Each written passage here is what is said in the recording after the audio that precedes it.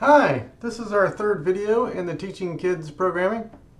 Today at school we did something really fun. We captured input from the user, in this case the kids, and we did something with that information.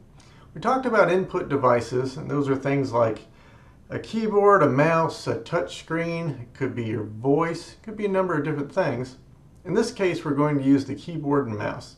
Let's jump right into it and take a look at what we did. Here we have a monkey, and to change your background or your sprite in Scratch, you can click on your sprite and then go to Costumes and click Import. There'll be all kinds of different ones. And to do it for your background, you'll click Stage, go to Import, and there'll be all kinds of different examples you can use there too. You can also make your own. Here we have a monkey on a, on a funny background. Now let's get started. First we'll have our usual, when you click the green flag, start. And then let's have uh, our monkey say something. So we're going to use our looks tab. We're going to say, let's give the monkey a name. We'll say, hi, my name is, better not say curious. That could lead to a D, M, CA takedown notice. My name is Bob. Why not? Now the monkey says, hi, hi, my name is Bob. Now let's get some input from the user. We'll have Bob uh, ask a question.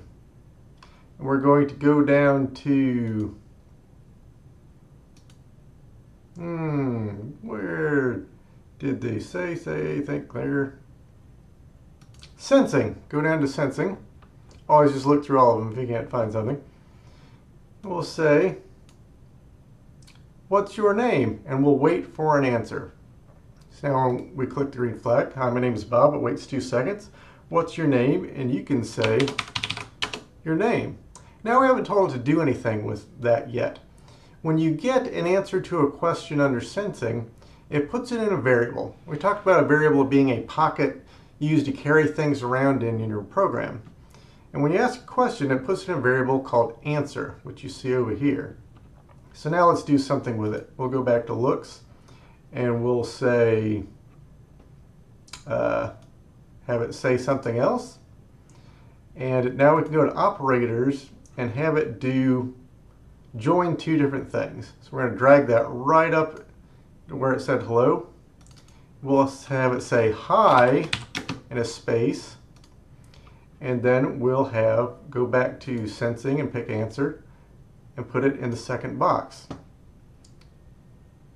So now, when it runs, it'll say, hi, my name is Bob. What's your name? Put your name in.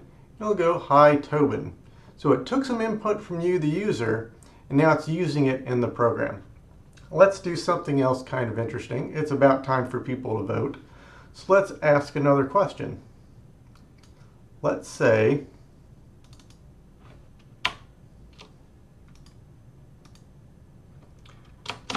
how old are you?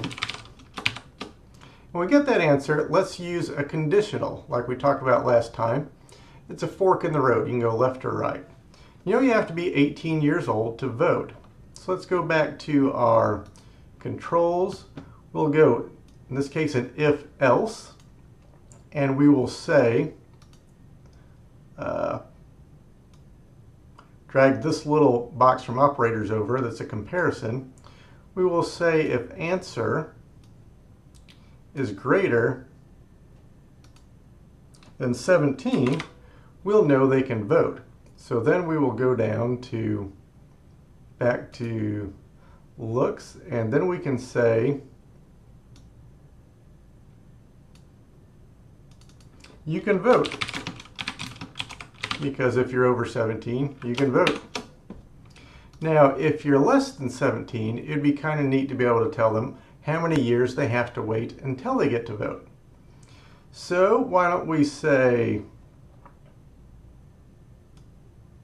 we will say something here and we want to do kind of a compound thing. And this will be kind of neat. We go over to operators and we want to join a couple things. We'll say you can vote in. And then we want to join a couple things again to the second one. So you can vote in, and on this first part, we want to do a little math with our answer. So we'll use some subtraction. And the kids got this right away. I said, you know, how do you get to 18? How many years you have to go? And they just knew this because these are the smartest children in the world. So you would go 18 minus answer, which is back on our sensing. And we'll end it with years. So now, unless I've done something terrible, this should work. Let's give it a shot. Hi, my name is Bob. What's your name? Say Tobin. Hi, Tobin. How old are you? And here I will lie. I'm actually, no, I'll tell the truth. I was born on leap year, so I'm technically 10 years old, which if you do the math means I'm in real life about 23. Now it says I can vote in eight years. So it went through our conditional and it knows 10, 18 minus 10 is eight years, in leap years in this case. If we were to run this again, and put in a name, hi Tobin, how old are you? And I put 23, my actual age. We'll say you can vote, it hit that conditional, knew. that's more than, than 18, it's more than 17 in this case, and it says you can vote. So that's what we did today. We learned about getting some user input and doing some things with it, and we incorporated in using a variable we talked about last time, as well as doing a conditional. In this case, uh, if then else. In other words, if it's this, do this one thing, otherwise, do this other thing. That's what we did today. The kids did great, had a really good time. And next week, we're going to do even more fun stuff. Maybe use user input to actually move, uh, move our sprite around on the screen and do different things. So, bye-bye.